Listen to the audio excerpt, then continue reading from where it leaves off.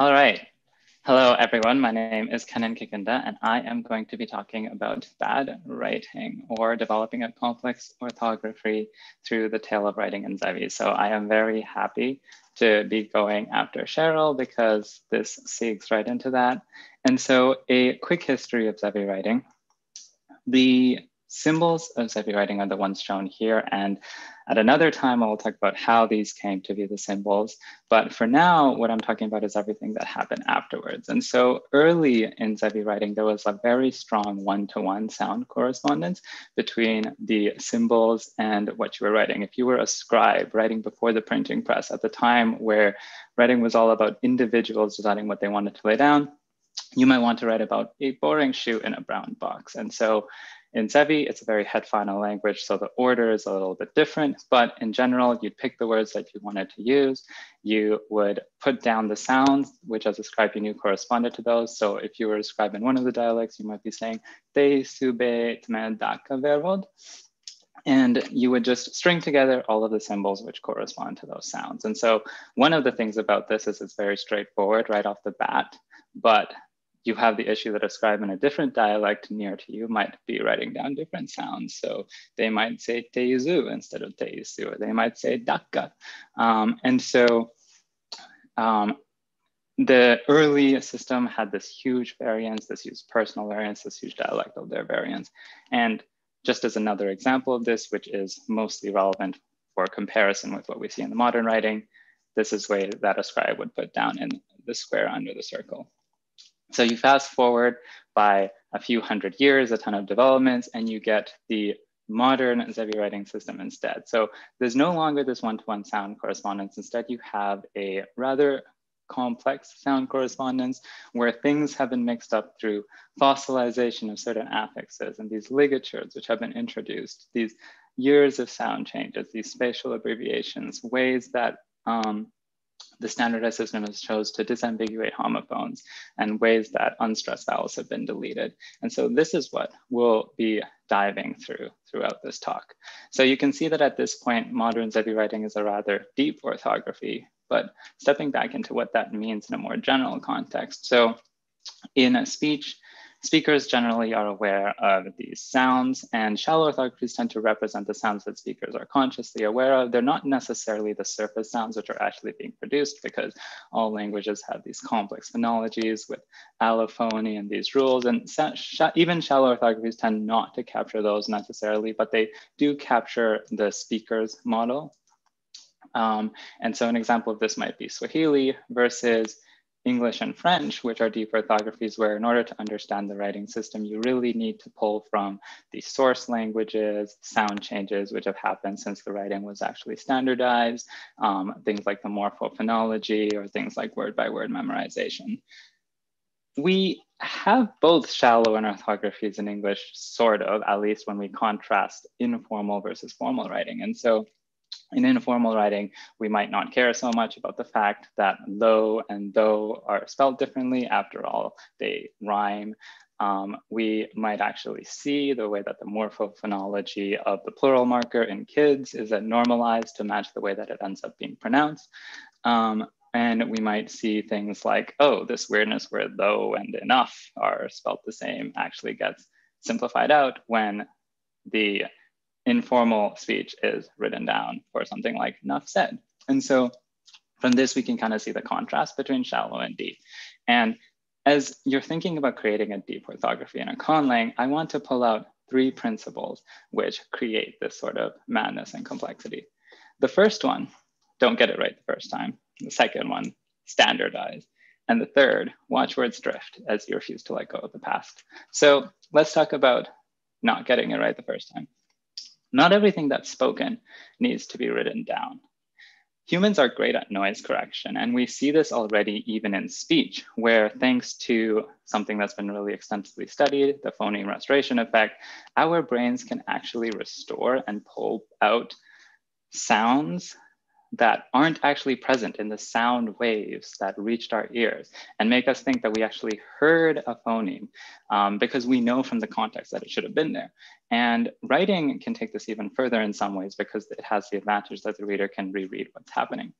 Beyond that, Writers are really lazy. You can imagine if you're just trying to jot down a quick note during your workday, or if you're a scribe who's transcribing a really, really long text, eventually you're like, oh my God, like look at all this paper, look at all of this things I have to jot down. I'm just gonna take some shortcuts so that I can hit the beach and work less and relax more. And so this creates a tension between the reader and the writer that may be familiar. In speech, and understanding sound systems, we talk about ease of articulation versus ease of perception. And this exists in writing systems as well, where the writer is looking for something that's really, really easy to transcribe. The reader is looking for something that's easy to understand. And so the tension between those two can help decide where the writing system ends up settling out.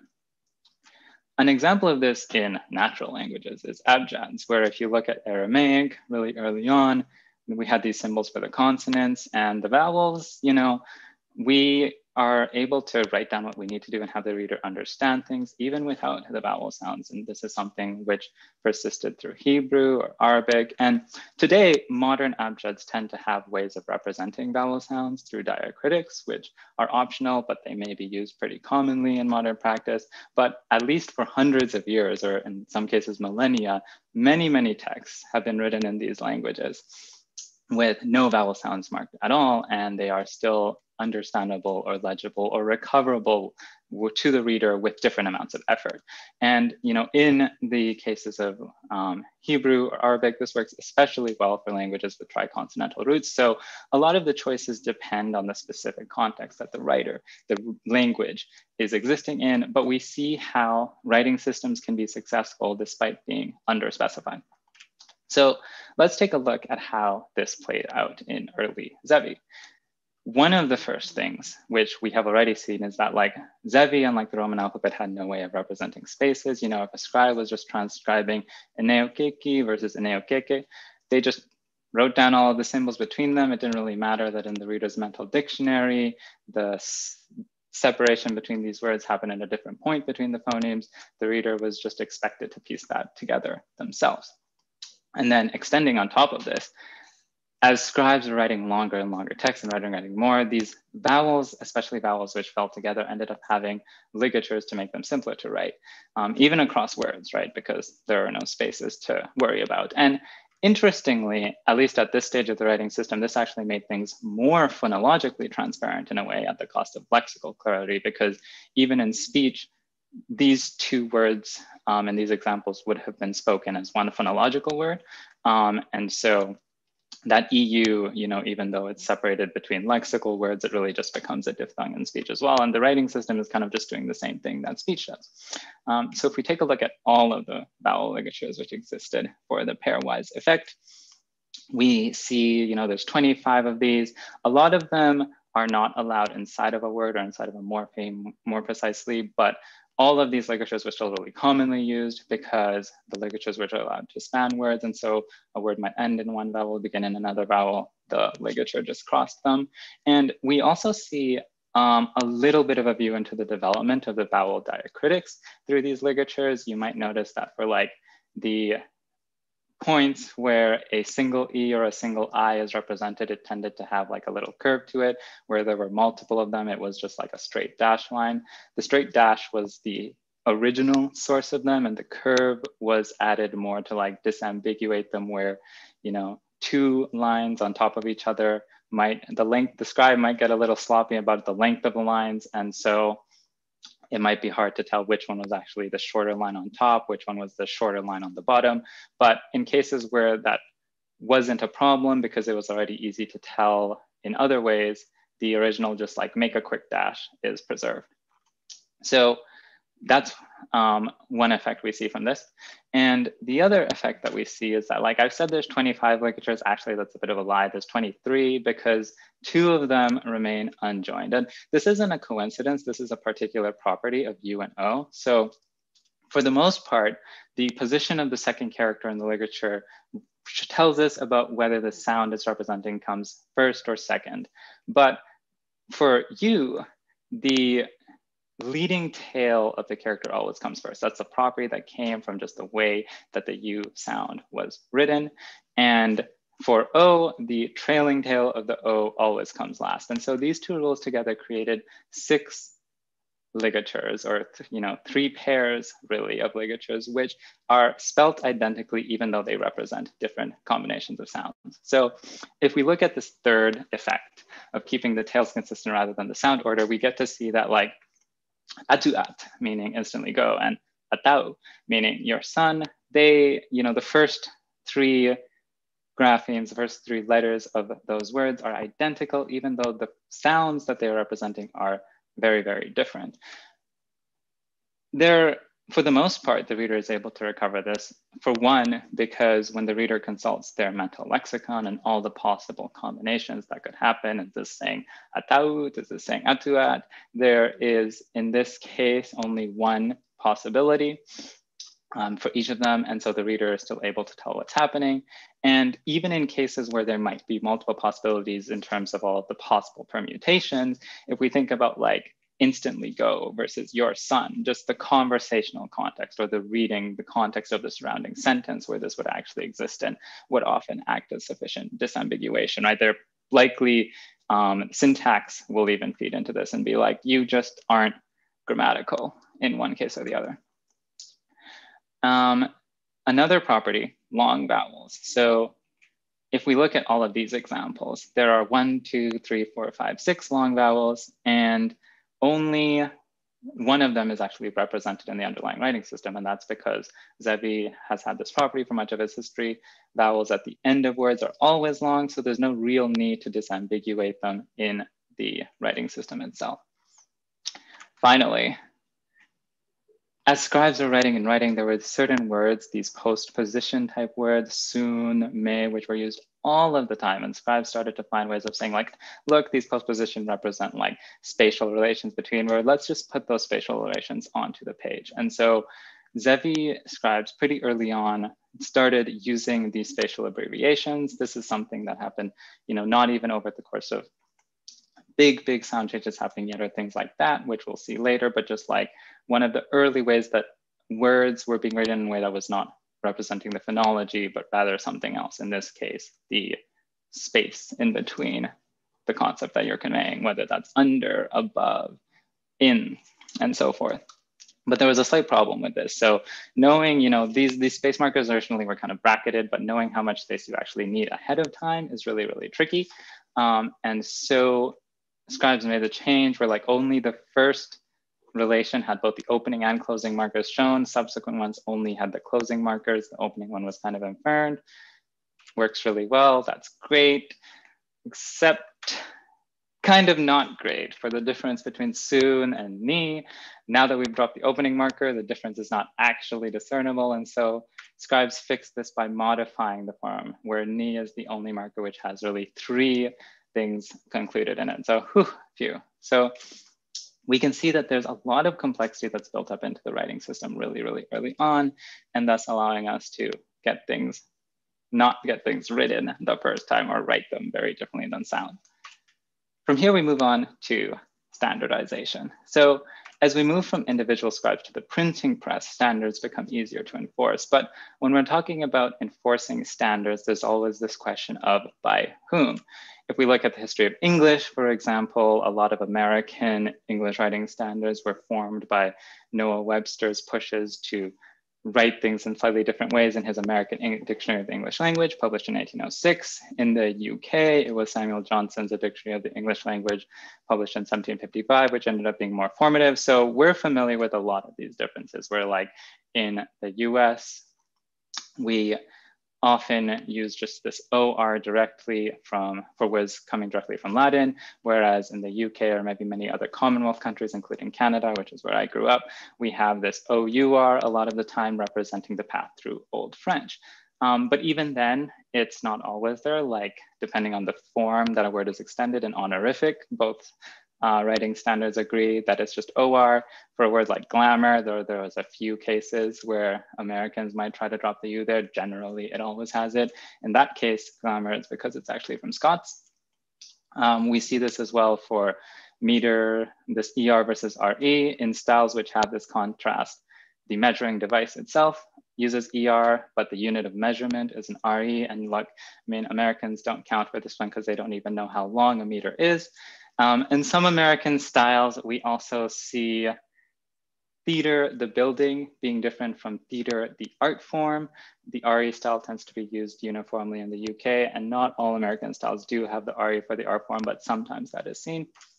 And of course, standardize. We see this contrast between I's with a Z, I's with an S.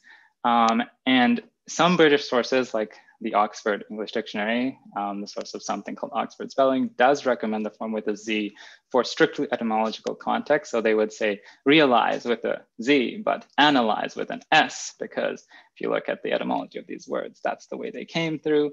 Um, but many British sources just use the S form consistently because like, whatever. So realize with an S, analyze with an S. And then both agree that like some words which are unrelated, improvised, always get the Z. So taking a look at how this played out in Zevy. Um, the cultural center of the Ling Zevy linguosphere, that's the Bemi dialect, uh, contrasted with the administrative capital. And they both had different forms of political influence. And so when they went up against each other in terms of writing, they created this thing that I like to refer to as the great debacle of Ui and O. Giving a little initial context, Ui exist in old Zevy, but by the middle Zevy time that the printing press was taking off and the writing standards were being formalized, um, it was not a thing. It had been replaced by OE. Synchronous derivations and inflections, which would create OE, were actually spoken as OE instead. Scribes used to really just vary based on personal preference um, in terms of how they represented these, how far along their particular dialects had been at the sound changes at the point that they were writing it down.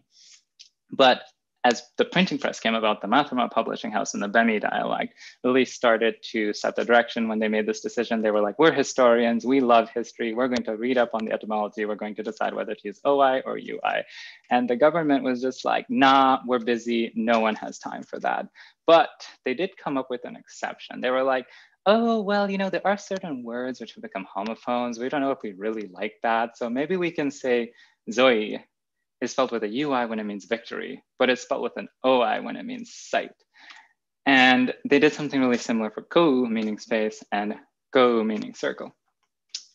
Um, the Mathrama House was just like, look, we're historians, y'all are crazy. These words have never had a unit. No. Um, and moreover, like the Bemi speech actually had a different suffix, this UN suffix for the thing that generated Go versus Gon. And so they were just like, that, that's, we don't even need to do that. So how did these things combine? Well, the cloud of the publishing houses ultimately ended up winning the battle of etymology, but through the education system, the capital was able to enforce its additional disambiguating changes. And the real limiter on the ability of the education system to just like enforce its entire script view was the fact that it was still dependent on the publishing houses to generate the actual literature materials, which would be like the canonical classes that they were teaching in their schools. And so today, you know, the two dialects have paired up together to create what is known as standard written Zevy. So what is, how does that work? Well, Zevy exists in a situation of light diglossia where, you know, the two dialects remain really prominent and distinct in spoken language. They're maybe about 90% mutually intelligible. So like for the most part, they can communicate. It's not that distinct, but it's enough that like, you, you know, some adjustments are needed, but there is a single written standard used throughout the area where Zevy is spoken. And this is comparable, though not as extensive as the um, difference that we see between standard written Arabic and many of its spoken dialects in our world today. And so taking a look at some examples of this, if you're talking about fish, noi, but you write it with a UI. If you're talking about victory, as we saw, the capital standard, it's UI. If you're talking about victory, OI if you're talking about sight, Zoe is the way it's pronounced, at least at the time um, before we get into the sound changes that we'll see later. And then if you're talking about circle, this is interesting. Um, if you're talking about circle, it's pronounced with written rather with two U's, go. Um, both dialects actually ended up eventually, or for specifically the word ko, having space being supplanted by the word which ended with an N. So you know, ironically, this distinction, which created circle having two U's was redundant, but it was formalized anyways, too late, so sad, too bad. And a few other changes, right? So other words don't have this. So the UN suffix is still written in standard Zevy, but the Kavi dialect doesn't pronounce it in those cases. And finally, the two prominent dialects love to really gang up on the smaller dialects and be like, if we don't have it, we're going to ignore it. So other smaller dialects have long consonants in addition to long vowels. Standard Zevy writing is like na fam. So we see how standardization played out. Finally, watch first drift as you refuse to let go of the past. So in English, the big example of this is the great vowel shift, which has created a huge difference in terms of how we write vowels and how we actually speak them. There's a few ways where this has impacted Zevy as well. The impact of historically long vowels on Zevy has been to change the way that the preceding consonant is pronounced. And so the long vowels no longer has any vowel quality distinction or vowel length distinction or anything like that, but preceding consonants are often impacted. And um, this also merges, you know, or plays in with like the impact on historically word final consonants I've seen some level of lenition to them, and that kind of differs between the dialects. And so this gives us an overall situation where if we're comparing the word for me, historically dit, you know, the Kalvi dialect says di, um, the Bemi dialect says dith. Um, if you're talking about change in contrast, though, you're gonna look at zi versus zith. And so both are very different from what's actually being written. So the graphemes are being written still have it as if the vowel length is the meaningful distinction, but depending on the dialect, it's something else entirely. Um, and so we see this also affecting our sibilants as well. And we also see another later change, which is these sound mergers. And so like, if you've noticed in this pronunciation of the COVID dialect, right, it's like weird in terms of how it matches with the spelling. Part of this is the two things we've seen. So one was that hom homophone disambiguation, and the other is this sound merger, which has created an underlying spelling, which is pronounced in this way. And these sound mergers have created a bunch of new homophones as well. Kaimi, Mao, different spellings, same pronunciation. So watch words drift as you refuse to let go of the past, standardize, and don't get it right the first time. Hopefully with those, we see more of like the complex sound correspondence having played out over time in the Zevy writing system. Um, there's one more thing that I had wanted to cover, but I wasn't able to fit into my prep or talk time, which is unstressed vowel deletion. And this is also super interesting to me. It's comparable to the phenomenon of the écadique, um, or the écadique rather in French, which is schwa deletion in the Hindi usage of the Devanagari script. Um, and you know, I could probably give an entire talk about how that ends up playing out across all of those languages, but that unfortunately will have to be for another day. And so that brings me to the end of the presentation. So we've looked over these principles of deep orthographies, how to use them in a conlang through the examples of how they actually applied in Zevy. And I leave you with one Easter egg of how punctuation marks play out. As you can see in this final example, as might be expected based on the way postpositions work, punctuation marks in Zevy also have this sort of bracketing structure parallel to say the inverted question marks in Spanish. So thanks.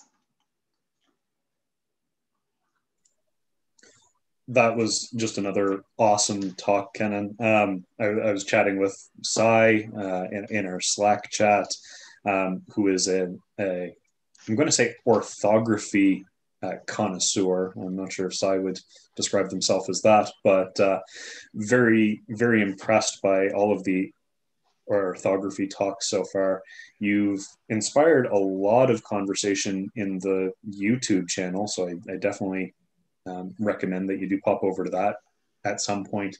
Um, a lot of people relating or um, feeling inspired as a result of what you've shown. I know I've never put that kind of thought into one of the orthographies I've designed for a, for a conlang. I've introduced some variation that I would love to see a linguist go back and go, oh, well, when it's written AH, it must have been this original form, or AA was this original form. And no, it was completely by chance and aesthetic. um, I haven't seen any any questions come up in the YouTube chat, so I'm going to put Sai on the spot and see if Sai just happens to have a question because I know they're they're hugely into this topic. Um, uh, well, so for one, Joey is absolutely right. I uh, do not expect to be impressed by uh, talks on orthography and uh, Cheryl and you were both amazing. Um, and I, I, was very amused by the bit on competing standardization systems. Um, I'm I'm wondering if you have um, a thought on how the competing standardizations might uh, differ on and thereby impact uh, things like ligatures and other mm. like formal uh, forms of the writing. Um, because uh, I think this is true in Arabic. Um, there are several different sort of standard uh, formal forms of Arabic, um, and they go several different directions.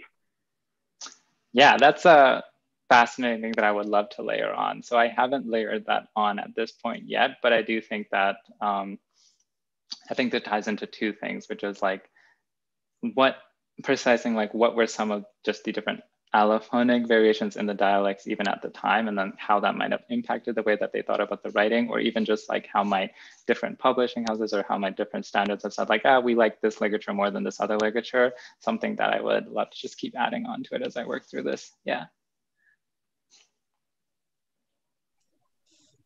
Um, one question that popped up in the youtube is is uh, or are there any documents about Zevy available online somewhere where people can find them? Yeah, so I'll drop that into the chat. I don't, I plan on adding a lot of the things about the orthography itself onto um, my website. So right now I typically use just the Roman transliteration of what the underlying words would be, but I think I would love to have the like photos of all the symbols as well. I don't know if I would ever make a font for it, even though it would make things easier because it's just like, oh my God, that's so much work. But there's a ton of documentation on the um, grammar and the writing will be added to that as well. Um, I, I, believe Sai has added a, a link to your website, uh, probably on the YouTube description for, for your talk. One thing I was curious about is just as someone who's con worlding, con conlanging, what direction did you go? Did you come up with the orthography and imagine all of these changes before making words, or did you have an idea of what the language was going to be and then evolve the orthography? Yeah, that was actually something I would have loved to talk about. And I was just like, ah, I don't have enough time. But like the history of it really has come along with me just learning more about linguistics and orthography in the first place because it really started actually when I created Zevy as a personal language about just like my aesthetic preferences. Um, people who are on the Zompist bulletin board or the ZBB way back might have seen some of the early designs of this were like I used to have a lot of words just ending in these like silent E's. And that was something that had been like borrowed, I think, just from my context in English and French. Um, and so as I learned more about languages generally, I started being like, okay, I want to calc the languages that I know a little bit less, but I want to still have this type of like orthographic complexity because I like the general sense of it a lot. And so I started modifying it and moving it a bit further and being like, how do I create something which is a little more original in terms of why it is the way it is? Um, and so it has been this back and forth, I think, from being like, this is how I want things to look aesthetically versus like, this is something which actually adds like a history or um, a, syst- a systematicism to it and just like iterating from that. And I, I, I just want to um, also leave the comment of like, this is one of the things which really resonates with me from Brian's talk to you about discovery, because sometimes the way I think about this is like, you know, I'll come up with something, I'll come up with this other thing, and they're like, eh, it's fine. And then like at one point I'll feel like, oh, wait a second. It's almost like I've landed on this like relationship between these two things and now it fits together, right? And it's like I'm learning what the actual history of it has been. So that's been fun. Thank you so much for for sharing all that. Like I said, definitely check out the the YouTube comments. There are a lot of people that are, are really inspired by your talk and, and your ideas. Thanks, Thanks so much. Yes, I absolutely will.